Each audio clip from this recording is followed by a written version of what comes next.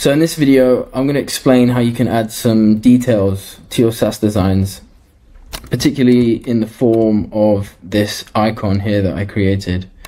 Um, now I posted this icon to my Twitter account about a month or two ago, and people really liked it. Um, you know, got quite a lot of engagement, and um, people were asking, you know, for a kind of tutorial or you know some insights into kind of how I put it together. Um, so I'll break it down and then, you know, give some insights along the way.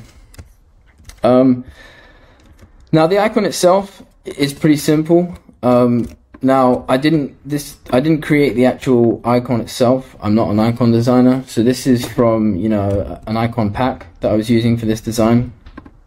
And then what I've done is I've created just something kind of um, like a frame with some effects and styling to kind of accentuate it give it some more kind of um, yeah design and a bit more kind of visual kind of um, yeah aesthetics essentially. Um, now, pretty much it's to break it down. It's a frame, um, and then a grid, some stars, a stroke, an inner shadow, and then kind of like this outer kind of drop shadow. So pretty much the frame is you know, a dark color that's, you know, the same as the kind of the, the design, you know, keeping everything consistent. Then you've got a very subtle stroke that's darker than the inner color. Um, now, obviously from far back, you know, you can't massively see the stroke. It's more the feeling of it, basically, because we've got the inner shadow. So, if I remove the stroke, you can see that changes the look and feel of the icon, like, massively. Um, you know, that kind of, that dark stroke just, it blends with the inner shadow to give it that kind of tactile kind of um, look, essentially. Um, so you've got the, the inner fill, the frame, the outer stroke, and then you've kind of got a bunch of shadows, basically. Um, so it's a bunch of inner shadows. Um, I've basically done them all kind of singles, just just four inner shadows on each side, um, giving it that kind of blurred kind of tactile kind of like look essentially. It's hard to describe but it gives it that kind of look. Um, you can see the kind of values down here that I was using. It's just minus one on the Y you know a small blur and a slight bit of spread. And then I've just picked a color that kind of blends well with you know the kind of dark kind of uh, you know blacks here basically. Um, with the grid inside essentially this is just a vector I got from a community file that you know I experimented with the kind of um, the kind of thickness of the lines um, because obviously if they're too thick or they're too thin they're not going to kind of feel right at this kind of size of icon basically. And then all I did was just add a linear gradient to that to give it that sense of depth that sense of it fading into the kind of background essentially. Um, the other piece is the stars, um, which is an asset that I actually use in a different um, design, but just to save time, I just dragged dragged one in that I'd already made. Um, essentially, to make the easiest way to make this is just copy a bunch of ellipses, and then there's a plugin called Randomize, and you can just randomize it and just create kind of a natural kind of feel um, and kind of spray kind of some star vectors uh, onto your kind of Figma file. Um, so essentially, I've just dragged that in. Um, you know, I could have used just a, a, small asset or just or just done that, but at the same time, I just dragged it in and just you know the frames, clipping it together. Um, now, obviously, the super small ones you're not going to see. This is just left over from the file. You know, the main thing is these ones that you can actually see, and obviously, even from a distance, you still get the feeling. You know, even the small ones, you still get the feeling of the stars.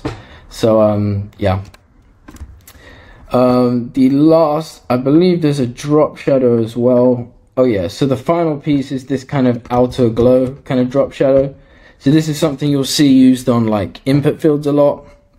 Um, if you're familiar with Tailwind UI and, and similar kits. Um, it's essentially that same idea, but I've just used a gray color and uh, that matches kind of the icon.